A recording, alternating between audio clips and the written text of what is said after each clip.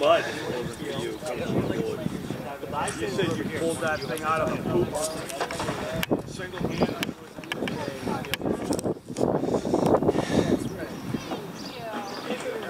Contractors as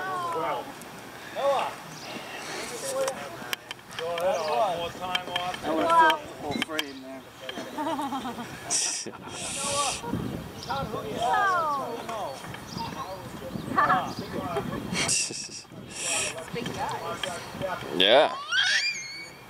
That was so silly. Are you guys still in Nashua or? Yeah, yeah. We've lived there for about a year now. Right. Good. We were in Hudson before In that. Hudson, right. And then did you, I'm trying to remember, did you sell the split?